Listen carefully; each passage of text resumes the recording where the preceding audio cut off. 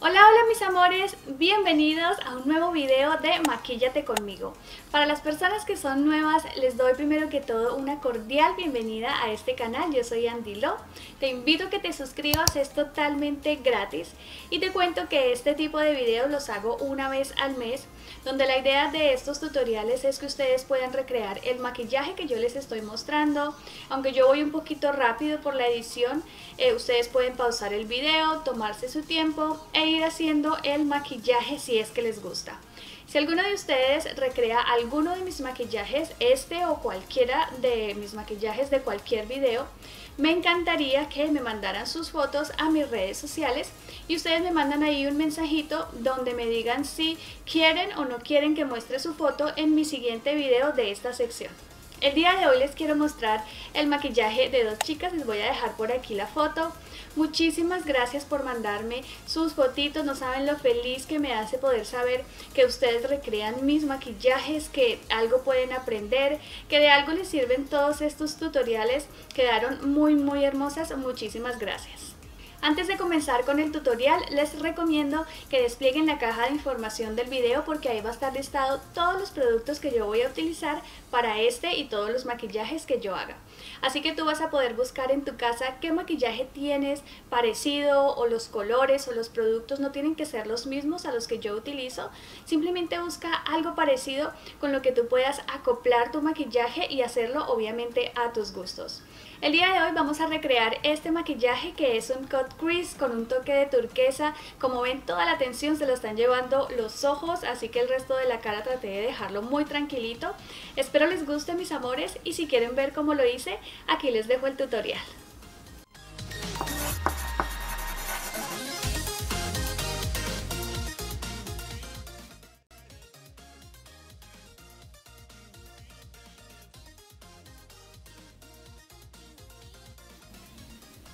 Esta tiene bastante subtono amarillo, entonces quizás me vaya a ver un poquitito muy amarilla, pero ya cuando pase a ser el color de contorno voy a tratar de darle un aspecto más bronceado a la base. Voy a difuminar con esta esponjita limpia previamente humedecida.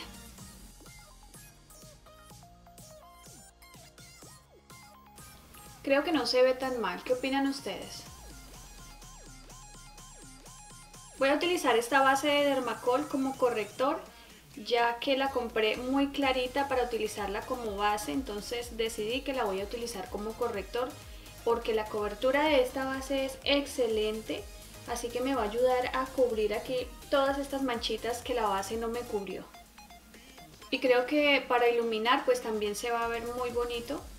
Sí me gusta cómo ilumina, me da un poquito de cobertura, me termina de corregir, y me ilumina muy bonito aquí debajo de los ojos que es donde más me gusta iluminar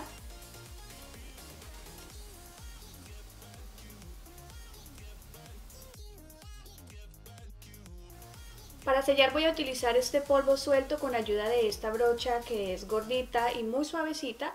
A suaves toquecitos voy a empezar a sellar toda mi cara, siempre concentrando la mayor cantidad de producto en aquellas áreas donde más me sale grasita o donde coloqué el corrector, que es donde necesitamos como una capita extra de, como de polvo o para sellar mejor. Y como siempre a suaves toquecitos voy a empezar a retirar el exceso de polvo.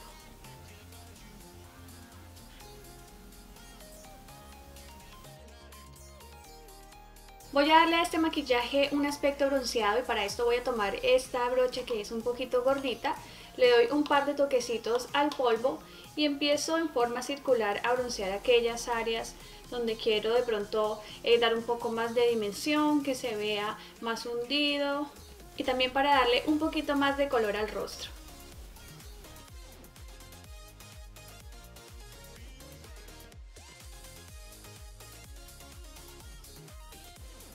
Vas a tomar cualquier corrector, uno que tengas que se difumine bien, que te guste la consistencia. Voy a colocar el día de hoy este que es como de un colorcito amarillo porque quiero que me ilumine un poquitito más el huesito de la ceja. Eh, también este corrector se difumina muy fácil y me deja una capa delgada. Si te gusta difuminar este corrector con tu esponjita de maquillaje, también lo puedes hacer. A mí personalmente me gusta hacerlo con el dedo porque siento que se me facilita más y me queda también muy bonito. Este color crema lo voy a utilizar para sellar el corrector que acabé de colocar ahí. Y aunque el párpado me va a quedar un poquito como muy claro, Ustedes no se preocupen que este color tan claro o tan blanco que se ve va a ir desapareciendo a medida de que le vamos dando color. Con este café oscuro lo que voy a hacer será dividir mi párpado móvil de mi párpado fijo. Entonces voy a mirar dónde tengo el pliegue de mi párpado. O las chicas que tienen párpado caído lo que van a hacer será tocar más o menos donde tienen el huesito del cóncavo y así se van a ir guiando. El huesito es el que les va a servir como guía para poder hacer este tipo de maquillajes. Entonces voy a hacer una línea curvada desde mi lagrimal casi que hasta el final de mi ojo. Muy despacito chicas vamos a empezar a hacer aquí esta división si es necesario hagan trazos muy eh, cortitos, despacio, con muy poquita sombra por si tienen que corregir alguna cosita, va a ser mucho más fácil de corregir.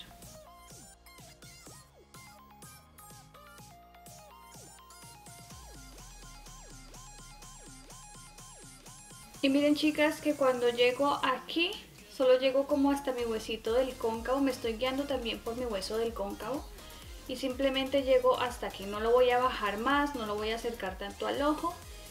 Y vuelvo a la paleta, voy tomando color y voy oscureciendo esta linecita y poco a poco con la misma brocha voy a empezar a difuminar haciendo suaves toquecitos así, arrastrándola hacia arriba pero casi que a toquecitos muy suavecitos chicas para empezar a difuminar esta línea. Donde más se tiene que ver oscura pues será aquí como en la partecita de abajo pero de ahí hacia arriba, de este borde hacia arriba, es donde vamos a empezar a difuminar. Ahora voy a tomar esta brocha lápiz también con un poquito del mismo café y voy a comenzar a colocarlo un poquitito más arriba, pero pues obviamente que todo esté junto, solamente como para empezar a difuminar más porque necesito subir este cafecito un poco más, pero que entre más lo subamos más difuminado se vea.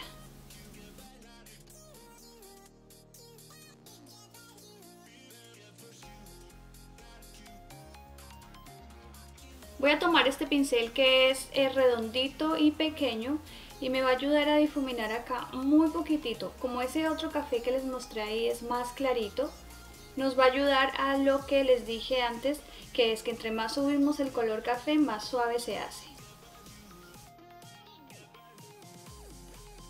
Con esta brocha un poquito más grande tomé del mismo café claro y estoy terminando de difuminar muy bien, suavizar aquí la parte de arriba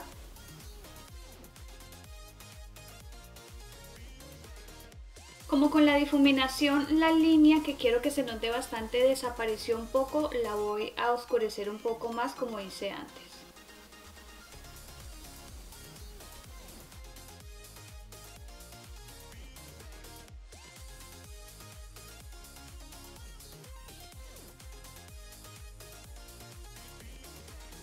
Para el párpado móvil yo voy a utilizar este lápiz Jumbo, pero si tú no lo tienes y tienes un corrector, que sea claro lo puedes utilizar y va a crear el mismo efecto, no necesariamente tienes que usar este mismo producto. Y con esta brocha sintética pequeña voy a empezarlo a distribuir por todo el párpado móvil teniendo en cuenta del corte que hicimos con la sombra café. De ahí no nos vamos a pasar y vamos a tratar de seguir la misma forma.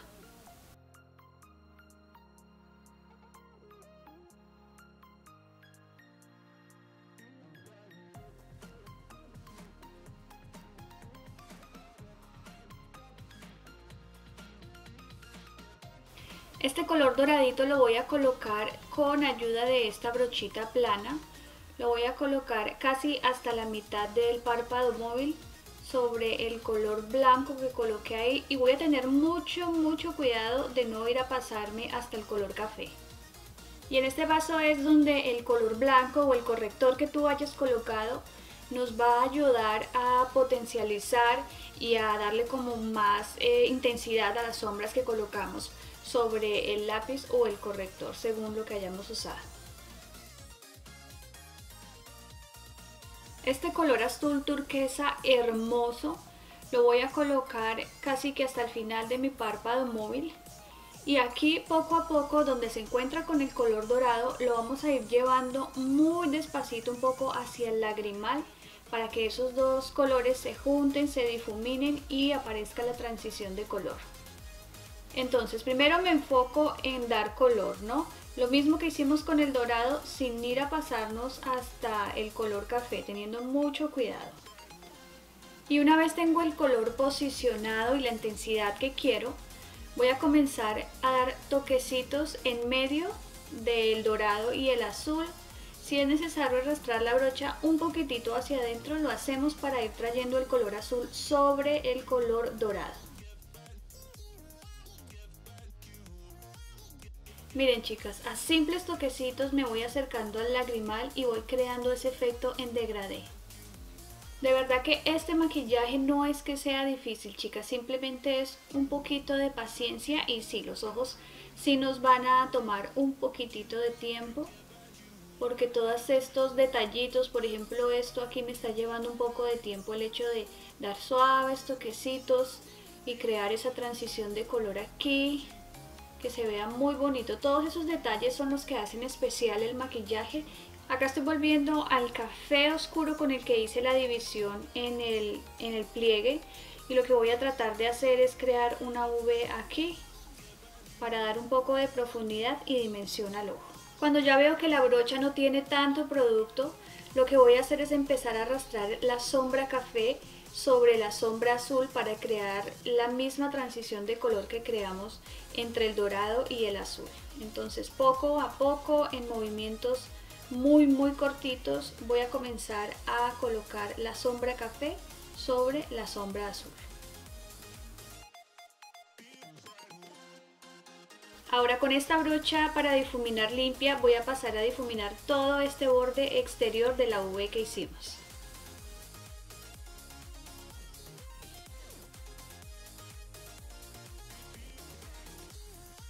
Para la parte inferior estoy tomando el mismo café oscuro y lo voy a colocar suave y difuminado desde el lagrimal hasta el final de mi ojo.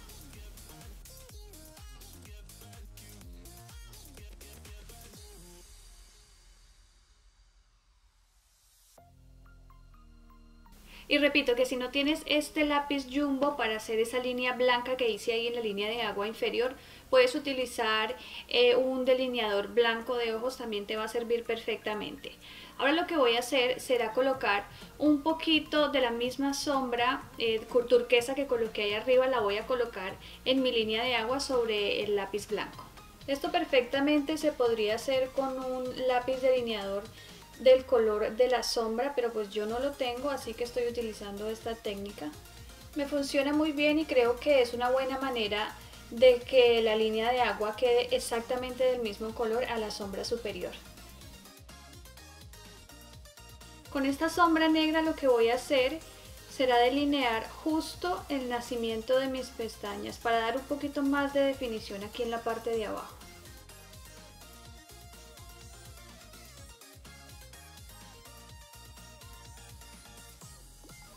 Voy a comenzar a hacerlo aquí desde el lagrimal. Lo traigo aquí hasta la mitad y luego ahí sí paso a hacer la alita.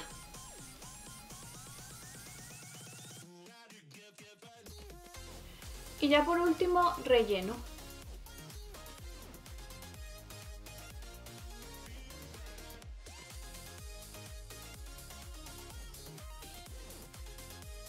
Con este delineador lo que voy a hacer es un terminado aquí en punta rodeando un poquitito el lagrimal.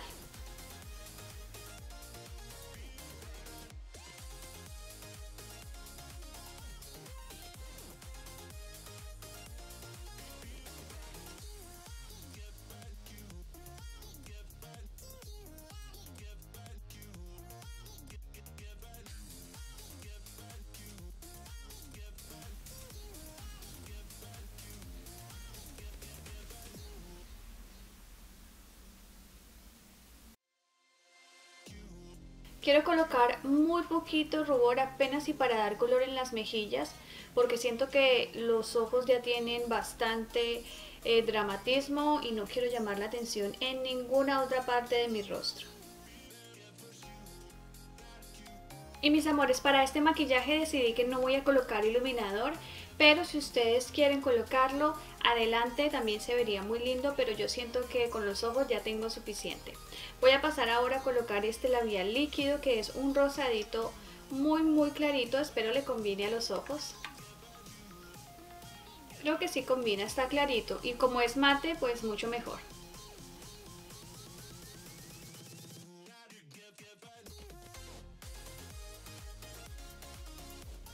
Y bueno mis amores, hemos llegado al final de este video. Yo espero que este maquillaje les haya gustado. Como siempre quedo muy muy ansiosa de que ustedes me manden sus fotitos con los maquillajes que ustedes recreen. Estaré súper súper súper feliz de poder ver todos sus maquillajes. No se olviden también de escribirme si quieren que muestre o no muestre eh, su foto en mi siguiente video de esta sección del canal. Espero que les haya gustado mis amores, si fue así, por favor no se vayan a ir sin regalarme un super like y dejarme abajo sus comentarios. Si son nuevos en este canal, me están viendo por primera vez, no te vayas a ir sin suscribirte y activar la campana de las notificaciones para que YouTube te avise cada vez que yo suba un video. Y si quieres conocerme un poquitito más, te invito a que me sigas en todas mis redes sociales. Abajo en la caja de información te voy a dejar todos los links. Y tú y yo nos vemos en el siguiente tutorial.